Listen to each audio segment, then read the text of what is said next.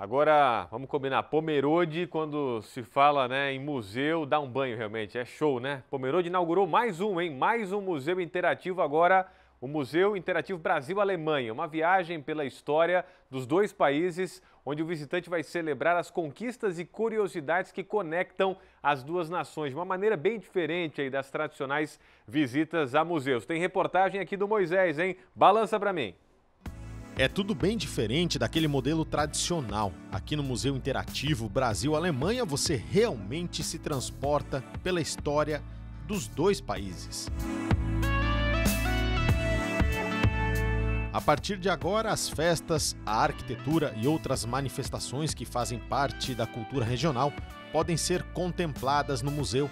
O espaço foi pensado para que qualquer pessoa interaja e aprenda com informações visuais e comparativas sobre as semelhanças e diferenças entre o Brasil e a Alemanha. A ideia de um museu interativo é ir na contramão do que as pessoas estão acostumadas do que a gente chama de museu contemplativo, que é aquele museu que você vai justamente não pode encostar, não pode tocar.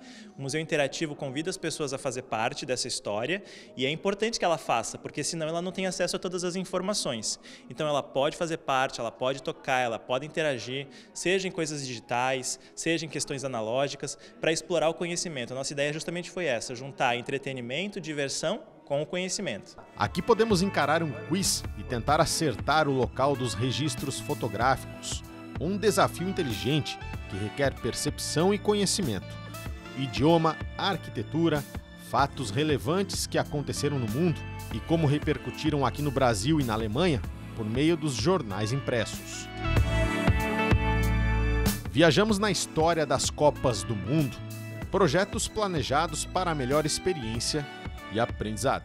Foi um processo complicado, porque muita coisa que a gente trouxe para esse museu não existia, a gente tinha que desenvolver a tecnologia. É, é, muito legal o processo de resgate histórico, de pesquisa, de curadoria, mas também de encontrar maneiras que oportunizassem as pessoas a consumir esse conteúdo de uma maneira leve, de uma maneira autoguiada. O museu é totalmente de livre acesso e livre demanda, a pessoa faz o seu fluxo, faz a sua visita da maneira que lhe convém e construir uma maneira de conseguir passar esse conteúdo, eu acho que foi o grande desafio, passar, passar o conteúdo conteúdo de maneira leve, de maneira tranquila e que ao mesmo tempo conseguisse gerar esse aprendizado nas pessoas. Quem visita o Museu Interativo aqui em Pomerode viaja na história dos dois países. Uma das curiosidades que a gente encontrou aqui é justamente um comparativo de tamanho entre Brasil e Alemanha.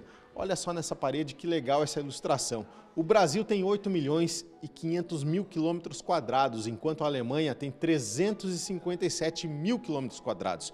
O que, que significa isso? Se a gente participar da brincadeira aqui ó, e virar essa ilustração, a gente pode ver que o Brasil é 24 vezes maior do que a Alemanha. Ou seja, olha só quantas Alemanhas cabem dentro do Brasil. Para quem gostou e quer visitar o Museu Interativo, fica o convite. O museu está bem no centrinho de Pomerode, aqui na rua Paulo Zimmermann, bem anexo ao Parque Municipal do Rio do Texto. É, nós estamos abertos de quarta até domingo, sempre das 9 às 19 horas. O investimento é 40 reais o ingresso inteira, 20 reais a meia entrada, para todo mundo que tem direito à meia entrada, e crianças até 6 anos não pagam. Tá aí, né? Mais uma atração aqui para todos nós né, da região do Vale.